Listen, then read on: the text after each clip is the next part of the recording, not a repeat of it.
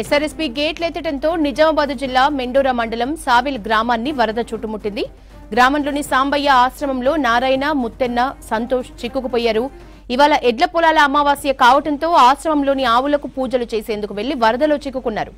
వరద ఎక్కువగా ఉండటంతో ఆశ్రమంలోనే బందీ అయ్యారు. గ్రామస్తులు అధికారులు ముగ్గురిని బయటకు తెచ్చేందుకు ప్రయత్నిస్తున్నారు. నిజామాబాద్ జిల్లా సావెల్ గ్రామంలోని సాంబయ్య ఆశ్రమంలో చిక్కుకున్న వారిని రెస్క్యూపై డీటెయిల్స్ రజనీకాంత్ అందిస్తారు. రజనీ రెస్క్యూ జరుగుతోందా? ఎట్లా ఉన్నాయి డీటెయిల్స్? యశోద నిజామాబాద్ జిల్లాలో గత రెండు రోజులుగా విస్తారంగా వర్షాలు కురుస్తున్నాయి. కొన్ని ప్రాంతాలు అయితే భారీ వర్షాలు కురుస్తున్నాయి. దీంతో గోదావరి పరివాహక ప్రాంతంలోనూ భారీగా వర్షాలు పడుతున్న నేపథ్యంలో గోదావరికి వరద ఉధృతి పెరిగింది. దీంతో ఈ ఈ ఉదయం ఎస్ఆర్ఎస్పి శ్రీరామ్ సాగర్ ప్రాజెక్టు గేట్లను ఎత్తి దిగువకు నీటిని వదులుతున్నారు. సో ఈ క్రమం ఈ క్రమంలో కింద ఏదైతే గోదావరి పరివాహక ప్రాంతంగా ఉన్నటువంటి మెండోరా మండలం సావెల్ గ్రామంని ఈ వరద నీరంతా కూడా చుట్టుముట్టింది. ఇది వరద కాల్వకు సమీపంలో ఉండేటువంటి గ్రామము.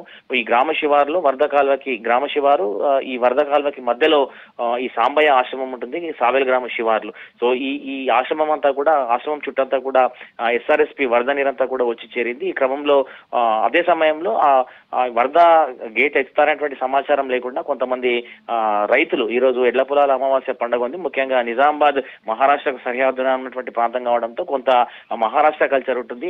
ఈ రోజు వ్యవసాయ పనులకు సహకరించేటువంటి ఆవులు ఎద్దులకి పూజలు చేయడం అనేటువంటిది సాంప్రదాయం వస్తుంది. సో ఈ క్రమంలో వాటికి పూజలు చేసేందుకు ఆశ్రమంకు వెళ్ళినటువంటి ఈ ముగ్గురు వ్యక్తులు కూడా నారాయణ ముత్తెన్న సంతోష్ అనేటువంటి ఈ ముగ్గురు వ్యక్తులు కూడా ఆ వరద నీటిలో చిక్కుకున్నారు. ఈ ఎక్కడైతే ఆశ్రమం ఉందో సాంబయ్య ఆశ్రమం ఉన్నటువంటి ప్రాంతము కొంత కొండ ప్రాంతమే. కానీ చుట్టూ అంతా కూడా నీరు వచ్చి ఉంది. ప్రస్తుతం వారి ప్రాణాలకు ఎట్లాంటి ప్రమాదం లేదు. కానీ వారంతా కూడా వరద నీటిలో చిక్కుకున్నారు. వీరు ఆశ్రమం చుట్టంతా కూడా వరద నీరంతా వచ్చి చేరింది. వీరంతా వీరి ముగ్గురుతో పాటు ఆశ్రమం నిర్వహిస్తున్నటువంటి సాంబయ్య ఆయనతో పాటు ఆయన అనుచరులు కూడా ప్రస్తుతం ఆశ్రమంలోనే ఉన్నారు. వీరంతా కూడా ఆశ్రమంలో సేఫ్గా ఉన్నారు కానీ బయటకు రాలేనటువంటి పరిస్థితి. సో అటు మెండోరా ఎరగట్ల మండలం తాళ్ళరాంపూర్ తాళ్ళరాంపూర్ సంబంధించినటువంటి గ్రామం నుంచి తడపాకల్ గ్రామం నుంచి పోలీసులు వెనుక వైపు నుంచి వీరిని రక్షించేందుకు ప్రయత్నం చేస్తున్నారు. రెండు వైపుల నుంచి ఇటు సావెల్ వైపు నుంచి అటు తడపాకల్ వైపు నుంచి పోలీసు బృందాలు అట్లాగే రెవెన్యూ బృందాలు వెళ్ళినాయి.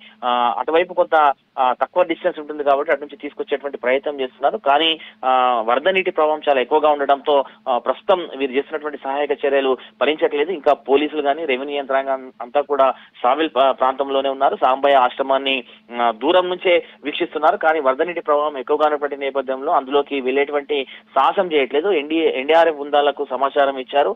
ఎన్డీఆర్ఎఫ్ బృందాలు వస్తే ఆ నీటిలో లోపలికి వెళ్ళి వారిని తీసుకు రక్షించేటువంటి ప్రయత్నం చేయొచ్చినటువంటి విషయాన్ని ఏసీపీ బస్వారెడ్డి చెప్తున్నారు. సో ఎస్ఆర్ఎస్పీ గేట్లను ఎత్తడంతో వరద నీరంతా కూడా సావెల్ గ్రామాన్ని చుట్టుముట్టింది. ఈ క్రమంలోనే ఆశ్రమం వరద నీటి మధ్యలో చిక్కుకుంది. సో ఆశ్రమంలో ఇప్పుడు చిక్కుకున్న వారికి ప్రాణాపాయం లేకపోయినా వారు మాత్రం ఆశ్రమాన్ని వదిలి అటువైపు ఎరగట్ల మండలం వైపు వెళ్ళలేరు. ఇటు మెండోరా మండలం వైపు. రాలేటువంటి పరిస్థితి ఉంది సో వారిని రక్షించేందుకైతే ప్రస్తుతం పోలీసులు అట్లాగే రెవెన్యూ యంత్రాంగం పూర్తి స్థాయిలో ప్రయత్నాలు చేస్తున్నారు యశోద.